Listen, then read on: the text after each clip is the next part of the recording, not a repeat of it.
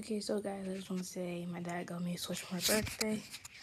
So now I can actually play Fortnite and stuff on this. I also have Smash Bros. So just want to say that. So I will make a video in a few days. I promise. Sorry, I just don't really have the time. I haven't been really. I kind of forgot about it. So anyway, see ya.